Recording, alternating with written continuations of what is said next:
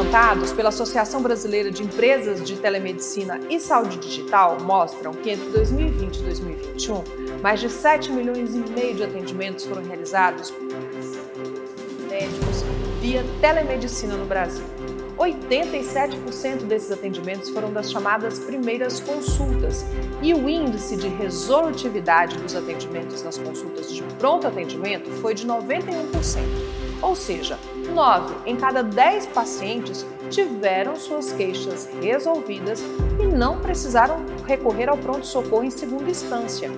A organização estima que 75 mil vidas tenham sido salvas no Brasil com a telemedicina.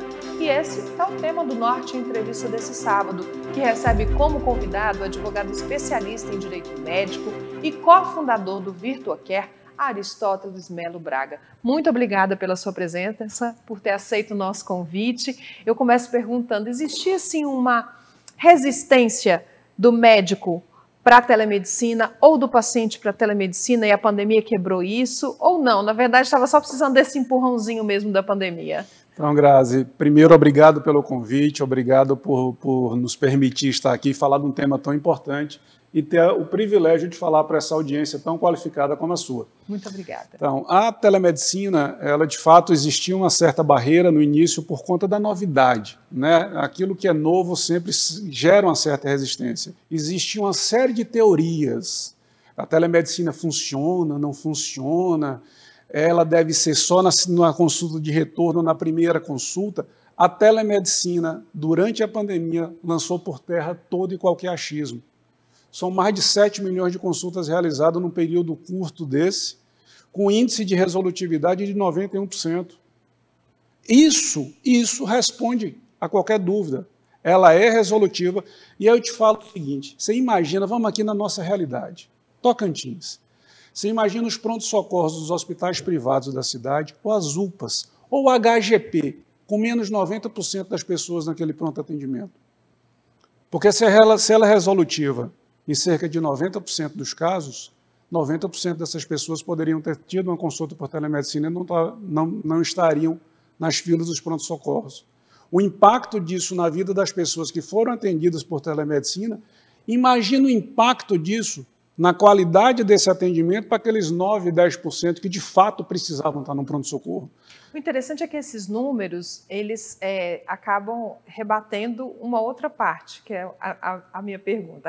A, regulamentação definitiva da telemedicina ainda está em discussão no Congresso, né?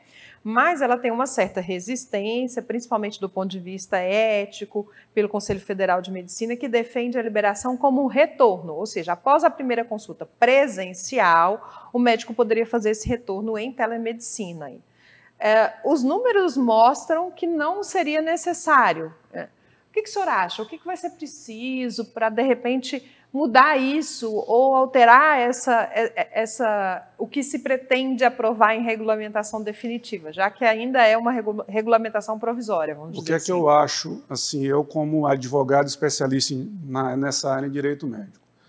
A decisão por realizar uma consulta por telemedicina ou não é uma autonomia do médico ele, enquanto profissional, de acordo com aquele paciente, com aquele quadro, ele que deve decidir se a consulta deve ser realizada por telemedicina ou não. E aí não importa se é a primeira consulta, se é o retorno. Ele pode entender que a primeira consulta pode ser por telemedicina e o retorno pode ser presencial. Quem tem que ter autonomia por tomar essa decisão é o médico em cada caso. Isso não pode ser tirado dele por qualquer resolução. Certo. Ainda de acordo com esse texto, o médico deverá informar o paciente todas as limitações próprias do uso da telemedicina. Que limitações seriam essas, para que as pessoas possam entender? São as limitações próprias da necessidade de realização de algum exame físico, clínico, algum exame que o médico tenha que ter um contato físico com o paciente. Se naquele atendimento, né, naquela circunstância, houver a necessidade do médico ter um contato físico com o paciente, ele tem que entender, o paciente, que a telemedicina não pode superar isso. E ele tem que entender que, se houver essa circunstância, o médico vai avisá-lo, diz, ó, o atendimento por telemedicina não é recomendado no seu caso, por conta dessa circunstância, você deve buscar um atendimento presencial. Então, na, há uma obrigatoriedade de que o paciente seja informado, tem um termo de consentimento livre esclarecido para que o paciente também tenha autonomia de decidir se ele quer ou não ser consultado por telemedicina diante daquela, daquela talvez dificuldade de, desse, dessa, dessa resolutividade por conta da, da dificuldade do exame físico. Agora, o uso de tecnologias também tem diminuído um pouco isso, né? Então, ah, o médico precisava, por exemplo, é, fazer uma análise mais próxima. A gente tem as câmeras do celular cada vez mais alta resolução, aplicativos que medem a pulsação. Então a tecnologia também está se adequando à tá. telemedicina, né? Muito se avançou nisso. É fantástico, é fantástico a gente ver os resultados disso. Os relatos que a gente tem dos pacientes e dos nossos médicos né, da, da, quantidade de situações em que ele pôde cuidar do paciente e superar essas dificuldades, elas são gigantes. A quantidade de, de, de vezes em que, em que o paciente achava que seria impossível que o médico chegasse a um diagnóstico pela telemedicina e aquilo aconteceu. As operadoras de plano de saúde já estão oferecendo essa possibilidade de teleconsulta aos usuários? Elas já podem fazer isso? Isso já é uma opção para o paciente? No meu, do meu ponto de vista, elas podem, não, elas devem. A ANS já, logo no começo da pandemia, a ANS já trouxe esse esclarecimento que a telemedicina é só um meio para que se realize a consulta. E a consulta está no rol, é obrigação da operadora ofertar a consulta para o paciente. E a telemedicina é só um meio. Então, diversos planos, diversas operadoras de plano de saúde já têm isso aí dentro da sua normalidade, da sua rotina. Isso pode também ser solicitado pelo paciente que não Sim. quer fazer esse deslocamento. Por exemplo, no interior do estado, talvez o paciente não tenha acesso com facilidade a um especialista. Ele pode então solicitar essa consulta via telemedicina para a sua operadora de plano de e saúde. não existe, do meu ponto de vista, nenhuma justificativa para que isso não seja concedido. Isso facilita a vida de todo mundo. O senhor diria que a gente vê os números da pandemia reduzindo, né? as pessoas se vacinando, o número de mortos caindo, graças a Deus. O senhor acredita que mesmo pós-pandemia, a telemedicina, ela veio para ficar, ela é um caminho sem volta? Esse, essa quantidade de consultas via telemedicina, ela deve crescer ano a ano? As pesquisas vão mostrar isso? Por quê? Pela facilidade do acesso, Grazi. Aquilo que, eu, que, eu, que a gente falou no começo. É, os avanços né, que a tecnologia mostrou durante a pandemia é um caminho sem volta a facilidade, o acesso, a resolutividade, a facilidade da gente poder consultar, estar frente a frente com o médico sem eu precisar me deslocar. Eu estou na minha casa, estou no meu trabalho, estou no meu ambiente familiar, eu não preciso sair dali para poder buscar um médico. O médico consegue atender de qualquer lugar. Isso facilita, isso, isso abrevia tempo, encurta caminhos, né? e não tem razão de ser para que isso não, não permaneça. Isso, de novo, os números mostram a grande, grande, grande vantagem desse tipo de eu vou para um rápido intervalo, daqui a pouco a gente volta a falar mais sobre esse assunto. Você não sai daí que já já a gente está de volta.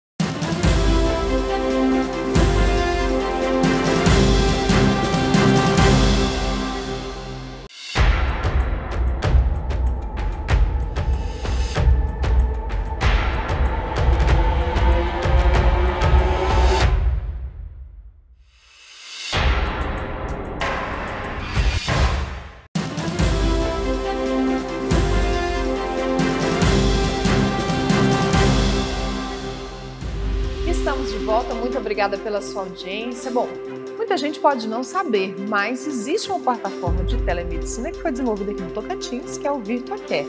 O senhor é cofundador. Quais são os dados de atendimento do VirtuaCare? Existe uma demanda mais específica ou que teve né, uma procura maior nesse período de pandemia no VirtuaCare? Fala um pouquinho para a gente. Primeiro, que de fato nos honra muito sermos uma, uma plataforma pensada, desenvolvida, né, criada aqui no estado do Tocantins. Né? Eu, meu sócio, amigo, Dr. Antônio Fagundes, né, que encabeçamos esse projeto desde o início. Hoje a gente tem vários outros parceiros, médicos, colegas, amigos juntos né, nesse, nesse empreendimento, mas foi iniciada principalmente da cabeça dele. Dr. Antônio Fagundes é um cara que tem uma empatia fantástica. Isso vem da cabeça dele de exatamente pensar no outro. Ele pensa tanto do lado do paciente quanto do lado do médico, e aí veio essa necessidade de a gente criar isso. E aí veio. Vamos lá. Com relação a, a, a essa demanda. demanda que a gente tem percebido aqui nos nossos números. Uma coisa que é bastante impactante é o que o resultado disso tem trazido para as empresas. Ah, hoje, grande parte dos nossos clientes são pessoas jurídicas, são empresas que contrataram o VirtuaCare para trazer esse benefício para o seu colaborador. Isso tem trazido uma melhoria de vida para essas pessoas, porque elas conseguem, para esses colaboradores, porque eles conseguem ter acesso à consulta médica a 24 horas por dia, 7 dias por semana, de onde ele estiver. Seja naquele momento em que ele está passando por alguma necessidade de estar no, no seu ambiente de trabalho, ali mesmo ele pode fazer uma consulta, ou em casa, ou no final de semana, ou numa, numa, numa festa. O primeiro atendimento que nós tivemos esse ano no Virtuacare foi aos quatro minutos depois do Réveillon. Você imagina esse impacto na vida daquela pessoa que não teve que largar o seu, sua comemoração familiar para poder ir no pronto-socorro? O impacto disso na vida daquela pessoa. Então, a gente tem visto isso de maneira muito gratificante, o resultado disso. As empresas, os nossos clientes, têm sido recorrentes em, em, em falar conosco do impacto disso em dois aspectos bem interessantes. Primeiro, na diminuição do absenteísmo, na diminuição das faltas, na diminuição do tempo de atestado. Por quê? O atestado, quando a gente vai na consulta presencial, o médico ele, ele te dá alguns dias de afastamento de trabalho de acordo com aquela sua necessidade, de acordo com o seu quadro específico. Por ser inviável você conseguir fazer uma reavaliação do seu quadro todos os dias, ele acaba te dando um, um atestado um período maior. Com a telemedicina não tem essa necessidade, porque o médico pode te reavaliar toda hora mais de uma vez por dia, todos os dias. Isso tem feito com que a quantidade, o prazo dos atestados tenha diminuído e o paciente é assistido o tempo inteiro. Você não fica com aquele intervalo entre a primeira consulta e o retorno, porque você tem isso na sua mão a qualquer momento. E outro impacto que os, que os empresários têm relatado para a gente é o, o, a questão da diminuição da rotatividade por conta do benefício. O benefício mais desejado pelo trabalhador é um benefício de assistência à saúde, longe de todos os outros. Então, com o Virtua, ele consegue trazer esse benefício né, com um valor de investimento muito acessível. Isso tem feito com que a rotatividade diminua e com a atração de bons funcionários para essas empresas, porque ela consegue ofertar isso para os seus funcionários. Interessante. Existe alguma especialidade mais demandada no VirtuaCare e mais? O VirtuaCare ele atende qualquer tipo de especialidade? Como é que está funcionando? O atendimento do VirtuaCare é em clínica geral.